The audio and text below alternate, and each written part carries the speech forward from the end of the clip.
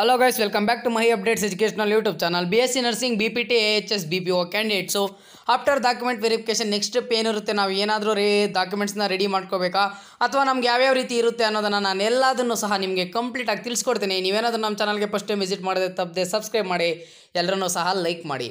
ಈಗ ನೋಡಿ, ನಿಮಗೆ ಬಿ ಎಸ್ ಸಿ ನರ್ಸಿಂಗ್ ಕ್ಯಾಂಡಿಡೇಟ್ಸ್ಗೆ ಡಾಕ್ಯುಮೆಂಟ್ ವೆರಿಫಿಕೇಷನ್ ಮುಗ್ದಿದೆ. ಇನ್ನು ಮತ್ತು ಕೆಲವೊಂದು ಕ್ಯಾಂಡಿಡೇಟ್ಸ್ಗೆ ಡಾಕ್ಯುಮೆಂಟ್ ವೆರಿಫಿಕೇಷನ್ ಮುಗ್ದಿಲ್ಲ ಟ್ವೆಂಟಿ ಸೆವೆಂತ್ ಇದೆ, ಅದ್ರ ಬಗ್ಗೆನೂ ಸಹ ಹೇಳಿದ್ದೀನಿ ವೆರಿಫಿಕೇಷನ್ ಆದಮೇಲೆ ನೀವು ಯಾವ್ಯಾವ ರೀತಿ ಪ್ರೊಸೀಜರ್ ಇರುತ್ತೆ? ಅಂದರೆ ನಿಮಗೆ ವೆರಿಫಿಕೇಷನ್ ಆದಮೇಲೆ ಜಾನ್ವರಿ ಐ ಥಿಂಕ್ ನನ್ನ ಪ್ರಕಾರ ಗೆಸ್ ಪ್ರಕಾರ ಜಾನ್ವರಿ ಫಸ್ಟ್ ವೀಕ್ನಲ್ಲೇ ನಿಮ್ಗಾದರೆ ಆಪ್ಷನ್ ಎಂಟ್ರಿ ಬಿಡಬೇಕು. ಯಾಕಂದರೆ ಪ್ರೊಸೀಜರ್ ಬೇಗ ಬೇಗ ಕಂಪ್ಲೀಟ್ ಮಾಡಬೇಕು. ಟ್ವೆಂಟಿ ಸೆವೆನ್ ಟ್ವೆಂಟಿ ಏಯ್ತ್ ಅನ್ನೋ ಡಾಕ್ಯುಮೆಂಟ್ ವೆರಿಫಿಕೇಶನ್ ಇರೋದ್ರಿಂದ ಆ ಟೂ ಡೇಸ್ ಗ್ಯಾಪ್ ಇದ್ದು ಜಾನ್ವರಿ ಫಸ್ಟ್ಗಾದರೂ ಹೇಳೋಕ್ಕಾಗಲ್ಲ ಜಾನ್ವರಿ ಸೆಕೆಂಡ್ಗಾದರೂ ನಿಮಗೆ ಮೊದಲನೇದಾಗಿ ಏನು ಮಾಡ್ತಾರೆ? ಈ ಒಂದು ಕೆ ಇ ಅಫಿಷಿಯಲ್ ವೆಬ್ಸೈಟ್ನಲ್ಲೇ ಇಲ್ಲಿ ನೋಡ್ತಿರ್ಬೋದು ನೀವು. ಇತ್ತೀಚಿನ ಪ್ರಕಟಣೆಗಳು ಅಂತ ಕೊಟ್ಟು ನಿಮಗೆ ಆ ಡೇಟ್ನ ಹಾಕಿ ನಿಮಗೆ ಫಸ್ಟ್ ರೌಂಡ್ದು ಫುಲ್ ಸ್ಕೆಡ್ಯೂಲ್ ಕಳಿಸ್ತಾರೆ. First round option entry full schedule ಕೊಡ್ತಾರೆ. ನೀವು ಅಲ್ಲಿ ಯಾವ ರೀತಿ ಲಾಗಿನ್ ಆಗಬೇಕು ಅಂದರೆ ನೀವು ವೆರಿಫಿಕೇಷನ್ಗೆ ಹೋದಾಗ ನಿಮಗೊಂದು ಫೈನಲ್ ಆಗಿ ಪ್ರಿಂಟೌಟನ್ನು ಒಂದು ತಗೊಂಡು ಕೊಟ್ಟಿರ್ತಾರೆ, ಅವರೊಂದು ತಗೊಂಡಿರ್ತಾರೆ. ಆ ಪ್ರಿಂಟೌಟ್ನಲ್ಲಿ ನಿಮ್ಮ ಒಂದು ಸಿ ಇ ಟಿ ನಂಬರ್ ಇರುತ್ತೆ, ಒಂದು ಸೀಕ್ರೆಟ್ ಕೀ ಇರುತ್ತೆ. ಅದನ್ನು ನೀವು ಭದ್ರವಾಗಿ ಇಟ್ಕೊಳ್ಳಿ, ಆದರೆ ಮೊಬೈಲ್ ಒಂದು ಒಂದು ಫೋಟೋ ತಗೊಂಡು ಇಟ್ಕೊಂಡ್ಬಿಟ್ಟಿರಿ. ನೀವು ಅದನ್ನು ಅಲ್ಲಿ ಎಂಟರ್ ಮಾಡಿದಾಗ ಜಸ್ಟು ಮತ್ತೆ ಎಂಟರ್ ಮಾಡಿದಾಗ ನಿಮಗೆ ರೌಂಡ್ ಒನ್ನಲ್ಲಿ ಆಪ್ಷನ್ ಎಂಟ್ರಿಯಲ್ಲಿ ಒಂದು, ಒಂದಿನ ಟೈಮ್ ಕೊಡ್ತಾರೆ. ಇಷ್ಟು ಗಂಟೆಯಿಂದ ಇಷ್ಟು ಇಲ್ಲ, ಇಷ್ಟು ದಿನದಿಂದ ಇಷ್ಟು ದಿನವರೆಗೂ ನಿಮಗೆ ಆಪ್ಷನ್ ಎಂಟ್ರಿ ಮಾಡಲು ಅವಕಾಶ ಇರ್ತದೆ. ಫಸ್ಟ್ ಮೊದಲನೇದಾಗಿ ಏನು ಮಾಡಬೇಕಂದ್ರೆ, ನೀವು ಲಾಗಿನ್ ಮಾಡಿಕೊಂಡು ಫಸ್ಟು ಕಾಲೇಜಸ್ನ ಆ್ಯಡ್ ಮಾಡ್ತಾ ಬರಬೇಕು, ಕಾಲೇಜಸ್ನ ಆ್ಯಡ್ ಮಾಡಿ, ಆ ಕಾಲೇಜಲ್ಲಿ ಯಾವ ಕೋರ್ಸ್ ಇದೆ ಅನ್ನೋದನ್ನು ನಿಮ್ಗೆ ಅಲ್ಲಿ ತೋರಿಸುತ್ತೆ. ಇಂತಹ ಕಾಲೇಜ್ನಲ್ಲಿ ಯಾವ ಕೋರ್ಸ್ ಇದೆ? ಈ ಗೌರ್ನಮೆಂಟ್ ಕಾಲೇಜ್ನಲ್ಲಿ ಯಾವ ಕೋರ್ಸ್ ಇದೆ?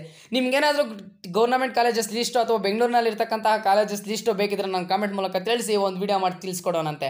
ಈಗ ನೋಡಿ, ಹಾಗಾದರೆ ನಡೆಯುತ್ತೆ. ಈಗ ಫಸ್ಟ್ ರೌಂಡ್ನಲ್ಲಿ ಆಗಿರುತ್ತೆ. ನೀವು ಫಸ್ಟು ರೌಂಡ್ನಲ್ಲಿ ಕಾಲೇಜಸ್ನ ಸೆಲೆಕ್ಟ್ ಮಾಡ್ಕೊತಾ ಬರೋದು. ಆ ಕಾಲೇಜ್ನಲ್ಲಿ ಕೋರ್ಸ್ ಸೆಲೆಕ್ಟ್ ಮಾಡೋದು. ಯಾವ ಕಾಲೇಜ್ನಲ್ಲಿ ಯಾವ ಕೋರ್ಸ್ಗೆ ಫಸ್ಟ್ ಪ್ರಿಯಾರಿಟಿ ಕೊಡ್ತೀರಾ? ಯಾವ ಕಾಲೇಜಸ್ಗೆ ಫಸ್ಟ್ ಪ್ರಿಯಾರಿಟಿ ಕೊಡ್ತೀರಾ? ಲೀಸ್ಟ್ ನೋಡ್ಕೊ ಬಂದು ಸೇವ್ ಮಾಡಿದ್ರೆ ನಿಮಗೆ ಮಾರ್ಕ್ ಅಲಾಟ್ಮೆಂಟ್ ಅಂತ ಇರುತ್ತೆ.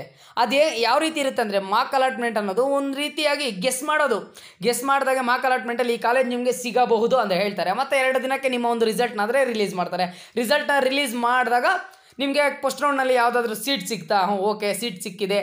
ಅದನ್ನು ಹೋಲ್ಡ್ ಮಾಡಿ ನೆಕ್ಸ್ಟ್ ರೌಂಡ್ಗೆ ಮೂವ್ ಆಗ್ಬೋದು. ಅಲ್ಲಿ ಯಾವ ಚಾಯ್ಸ್ನ ಸೆಲೆಕ್ಟ್ ಮಾಡ್ಕೋಬೇಕು ಅನ್ನೋದನ್ನು ಆ ಟೈಮಲ್ಲಿ ಹೇಳ್ತಾ ಹೋಗೋಣ ಸ್ಟೆಪ್ ಬೈ ಸ್ಟೆಪ್ಪು ಅವಸರ ಏನಿಲ್ಲ, ಅದನ್ನು ಬಿಟ್ಟಾಗ ಹೇಳ್ತಾ ಹೋಗೋಣ. ಮತ್ತು ನಿಮ್ಗೆ ಐ ಥಿಂಕ್ ಲಾಸ್ಟ್ ಟೈಮ್ ನಡೆದಿದ್ದು ಎರಡೇ ರೌಂಡು ನಡೆದಿದ್ದು, ಈ ಸಲಿನೂ ಸಹ ಎರಡೇ ರೌಂಡು ನಡೆಯುತ್ತೆ ಏನೋ ಗೊತ್ತಿಲ್ಲ. ಬಟ್ ಸಾಕಷ್ಟು ವಿದ್ಯಾರ್ಥಿಗಳು ಕೇಳ್ತಾನೆ ಇದ್ದೀರಾ, ಈಗ ನೆಕ್ಸ್ಟ್ ಆಪ್ಷನ್ ಎಂಟ್ರಿ ಅಂತ? ಆಪ್ಷನ್ ಎಂಟ್ರಿನೂ ನಡೆದೇ, ನಡಿಲೇ ನಡಿಬೇಕು. ವೆರಿಫಿಕೇಶನ್ ಆದಮೇಲೆ ಜಾಸ್ತಿ ದಿನ ಗ್ಯಾಪ್ ಇರಲ್ಲ.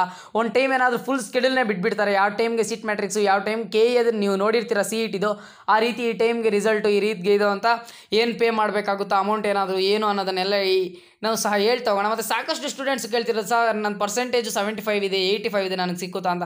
ನೀವು ನಂಬರ್ ಆಫ್ ಕಾಲೇಜಸ್ನ ಆ್ಯಡ್ ಮಾಡೋದ್ರಿಂದ ನಂಬರ್ ಆಫ್ ಕೋರ್ಸ್ನ ಆ್ಯಡ್ ಮಾಡೋದ್ರಿಂದ ಡಿಪೆಂಡ್ಸ್ ಆನ್ ಆಪ್ಷನ್ ಎಂಟ್ರಿಯಲ್ಲಿ ನಿಮ್ಮ ಕಾಲೇಜ್ ಸೀಟ್ ಸಿಗುತ್ತಾ ಇಲ್ವ ಅನ್ನೋದು ನಿಮ್ಮ ಕೈಯಲ್ಲಿ ನೀವೇನೇ ಡಿಸೈಡ್ ಮಾಡ್ಕೋಬೋದು. ನಿಮಗೆ ಇನ್ನಷ್ಟು B S C nursing B P T H S B P O ಮುಂದಿನ ದಿನಗಳಲ್ಲೇ ಅಪ್ಡೇಟ್ ಆಗಿರ್ಬೋದು. ಅಥವಾ ಇನ್ನೂ ಬೇರೆ ಬೇರೆ ರೀತಿಯ ಅಪ್ಡೇಟ್ಸ್ ಬೇಕಿದ್ರೆ ನನಗೆ ಕಾಮೆಂಟ್ ಮೂಲಕ ತಿಳಿಸಿ ವಿಡಿಯೋ ಮಾಡಿ, ತಿಳಿಸ್ಕೊಡೋಣ. ನಾವು ಎಂದಿಗೂ ಸಹ ನಿಮ್ಮ ಒಂದು ಸ್ಟೂಡೆಂಟ್ಸ್ಗೆ ಇರ್ತಕ್ಕಂತಹ ಡೌಟ್ಸ್ನ ಕ್ಲಾರಿಫೈ ಮಾಡ್ತೀವಿ. That's all for this video keep watching Mahi updates